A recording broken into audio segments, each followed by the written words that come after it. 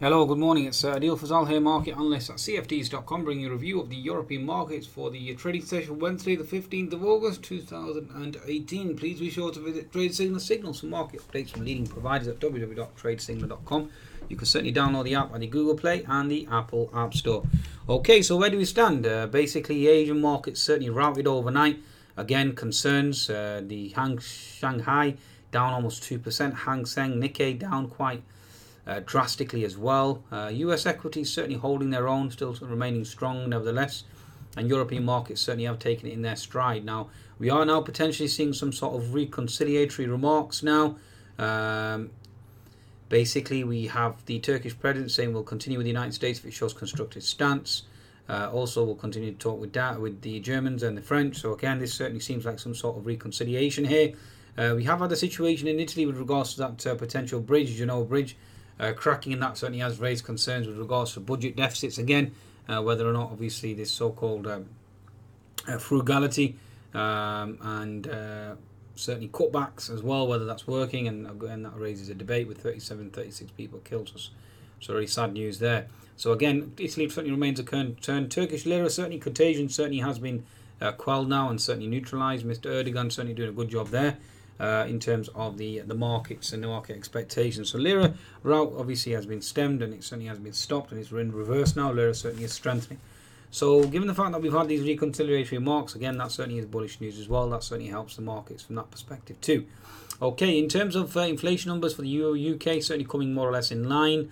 Uh, again, really the only real bearish factor is Asia overnight. So uh, given the fact that, that potential Chinese stimulus, that's certainly failed to certainly come into effect as well. Please be sure to visit Trade Signal again, Signals market updates from leading providers. Download the app the Google Play and the Apple App Store, and be sure to visit TradeSignal.com.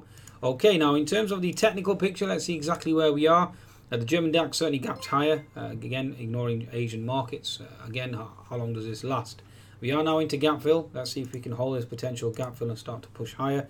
We are building a base in the German DAX around the 12300, so if that holds, markets certainly remain bullish and the daily chart again. You do have an unfilled gap at 12240 so bear that in mind as well and then multiple unfilled gaps above okay? In terms of the French CAC let's see exactly where we trade here. Again going lower uh, but base certainly is being built. The base uh, you've got double bottom support around the uh, 5390 zone. You do have gap fill at 5380 so bear that in mind as well. In terms of the FTSE 100 here certainly is being flushed in the back of uh, copper. Copper weakness continues okay Okay, so copper weakness certainly continues. FTSE now coming into support now on the 60 minute chart at the moment. Let's see if we can hold this key support level here around the 7582 zone. 10 minute chart certainly is flushing as well. Uh, let's move on to the daily chart. The daily chart has key key support here now around this zone here around the 7576, 7580 zone and looking to potentially hold. We failed to hold the fib 75%. We seem to be oscillating between this 7800 zone now and between 7500. Let's see if we can hold.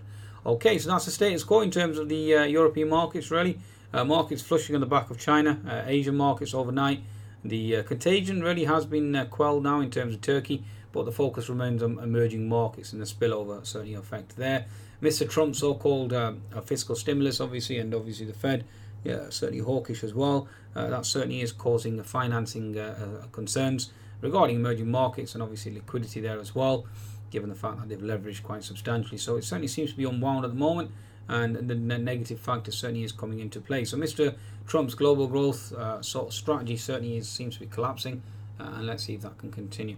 On that note, please be sure to visit cfds.com for your trading needs and certainly take advantage of that bonus and make sure you download the Trade Signal app. Goodbye now.